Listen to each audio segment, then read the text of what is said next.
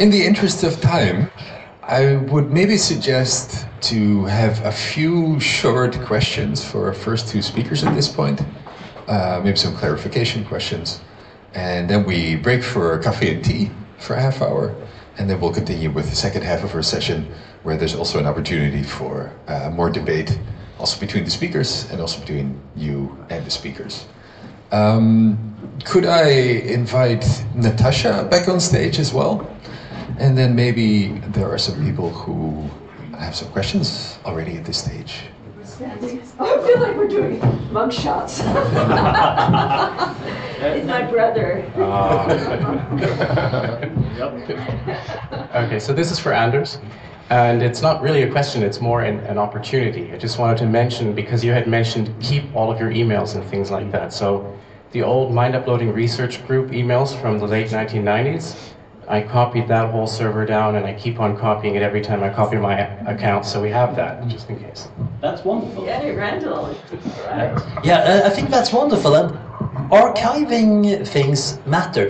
Uh, the French salons that created the Enlightenment. Uh, we remember mostly through the things people wrote afterwards. It was probably a good idea that we didn't get a proper transcript of what was actually conspired. But that output changed the world. And I think some of our old mailing lists uh, are going to change the world too.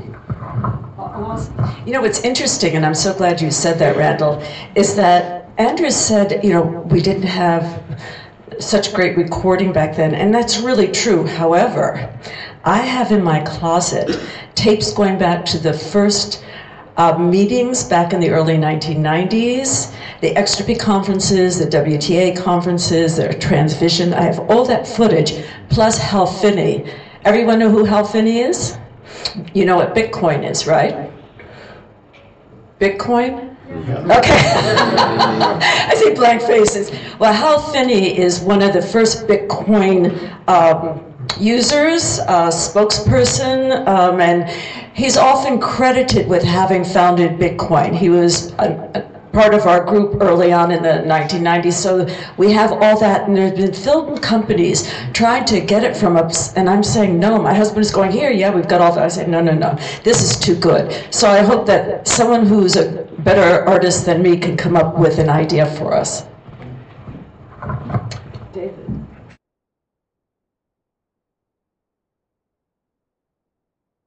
Great talks, both of you. My question is about, Anders, your slide, that uh, transhumanists are now the parents, and there are many other organizations which in some ways are having a bigger impact on the world.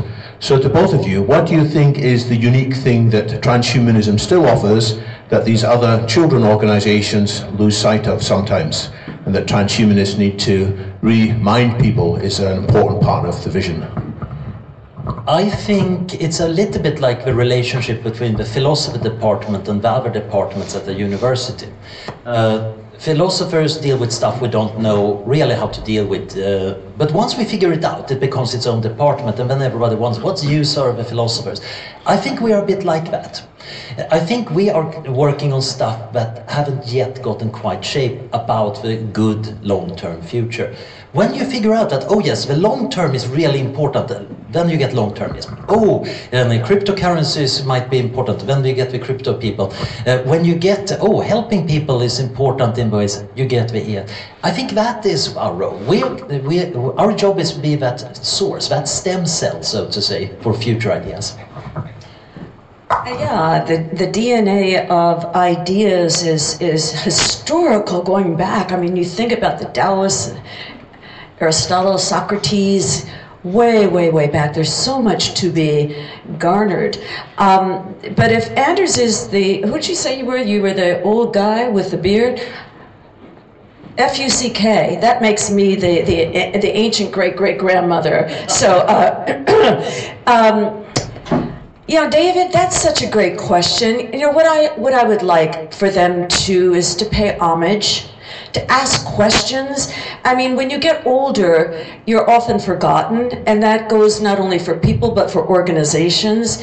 I would really love them to remember the work that was done and the early ideas and And I was thinking about it last night. You know, we, we talk about artificial intelligence. Well, there was Marvin Minsky. He was in our group. Okay, then artificial general intelligence. Well, that's Peter Voss and Shane Legg and um, Ben Goertzel. They were part of our group. Nanotechnology, Eric Drexler. I mean, you, you know, uh, uh, did anyone read about, was it Judith Campisi this morning? Okay. Well, Judith Campisi and uh, Cynthia Kenyon were part of them. These are brilliant scientists.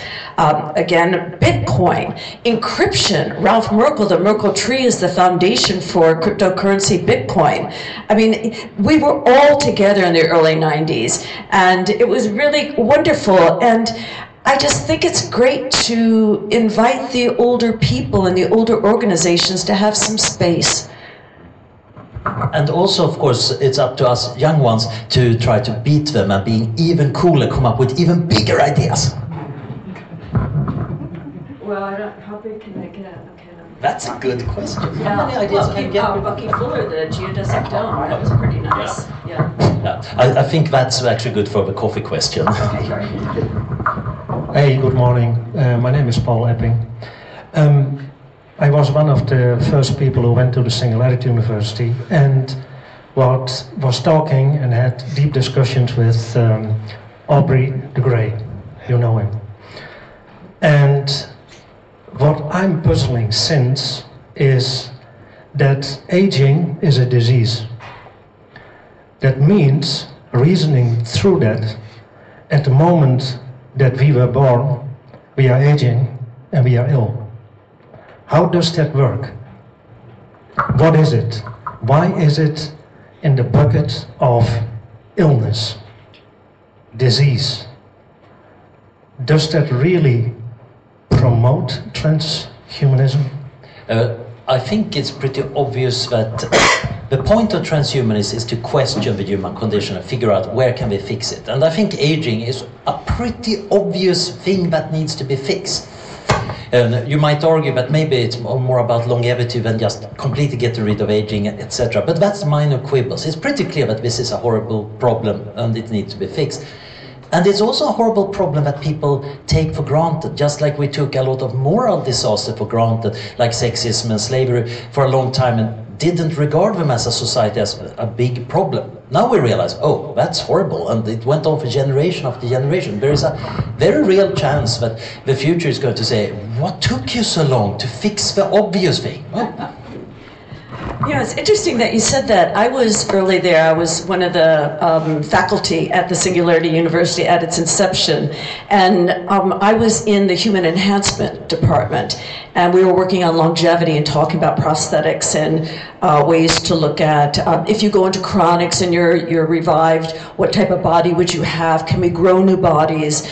Uh, what is the limits there? It got a little conservative, and so I am no longer there. But um, I think they're coming back out of that conservative perspective, looking now at longevity. It's interesting that you should. I was just in Vogue magazine uh, with the quote, long, um, "Aging is a disease," and that's where the mainstream. Would, when in when I was speaking, we need to deal with the, the concerns and problems, yes, but we also need to be more mainstream.